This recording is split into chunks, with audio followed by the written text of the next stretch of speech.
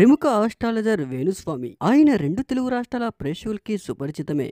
సమంత నాగ చైతన్య విడాకులు తీసుకుంటున్నారనే విషయాన్ని రామ్ చరణ్ ఉపాసన లేటుగా తల్లిదండ్రులవుతారని గతంలోనే చెప్పారు. అవి నిజమయ్యాయి. కాబట్టి ఆయన ఏం చెప్తే అది నిజమవుతుంది అంటూ అది అక్షర సత్యం అంటూ చాలా మంది సినీ అభిమానులు ఫిక్స్ అవుతూ ఉంటారు. మొన్నటికి మొన్న రెండు వేల ఇరవై మూడులో ప్రభాస్ జాతకం బాగోలేదని చెప్పారు వేణుస్వామి. ప్రభాస్ అభిమానులు అది విని చాలా హట్ అయ్యారు. ఈ ఏడాది అంటే అంటే రెండు వేల ఇరవై మూడులో వేణుస్వామి చెప్పిన మరో రెండు విషయాలు అక్షర సత్యాలుగా నిజమయ్యాయి. రెండు వేల ఇరవై మూడులో ఒక యంగ్ హీరో చనిపోతారని చెప్పారు. తారక రత్న మరణంతో అది నిజమైంది. అలాగే ఒక టాలీవుడ్లో సినీ హీరో హీరోయిన్ పెళ్ళి చేసుకుంటారంటూ చెప్పారు. వరుణ్ తేజ్ లావణ్య నిశ్చితార్థం త్వరగానే ఫిక్స్ అయింది. ఇప్పుడు వేణుస్వామి గారు చెప్పిన ఈ రెండు అంశాలు నిజమయ్యాయంటూ ప్రేక్షకులు ఇప్పటికే ఫిక్స్ అయిపోయారు. ఆయన సినీ ఇండస్ట్రీలో ఏం చెప్తే అది అక్షర సత్యంగా నిజమవుతూ ఉంటుంది. ఆయన మాటే సత్యం అంటూ సినీ ఇండస్ట్రీలో ఎంత మంది సినీ తారలు కూడా ఆయనతో పూజలు వ్రతాలు చేయించుకుంటూ ఉంటారు. ఆయన ఒక సినిమాకి కొబ్బరికాయ కొట్టారంటే ఆ సినిమా సూపర్ డూపర్ హిట్ అయిపోవాల్సిందే. ఆయన ఏ విషయం గురించైనా చెప్పారంటే అది అక్షర సత్యం అవ్వాల్సిందే. ఇక వీళ్ళ జాతకాల గురించి కూడా కొన్ని వార్తలు వైరల్గా మారుతూ ఉన్నాయి. వరుణ్ తేజ్ లావణ్య త్రిపాఠి వీళ్ళిద్దరి జాతకం చాలా బాగుందని ఈ జంట ఈ లైఫ్ని అద్భుతంగా లీడ్ చేస్తుందంటూ మరికొంతమంది జ్యోతిష్యులు చెప్తున్నారు ఆ వార్తలు కూడా సోషల్ మీడియాలో విపరీతంగా వైరల్ అవుతూ ఉన్నాయి. మెగా హీరోల్లో వరుణ్ తేజ్ భిన్నమైన వ్యక్తి. ఇప్పటి వరకు ఎన్నో సినిమాల్లో నటించిన వరుణ్ తేజ్. అందులో చాలా కొత్త కొత్త కథాంశాలతో ఎంతో ఆలరిస్తూ ఉంటారు. ఇప్పుడు లేటెస్ట్గా వరుణ్ తేజ్ మరో సినిమా కూడా చేస్తున్నారు. అయితే గత కొంతకాలంగా వరుణ్ తేజ్ లావణ్య త్రిపాఠి లవ్లో ఉన్నారంటూ గుసగుసలు వినిపిస్తున్నాయి. అవి కాస్త నిజమయ్యాయంటూ ఇప్పటికే నేషనల్ ఛానల్స్లో వార్తలు మారుమోగిపోతున్నాయి.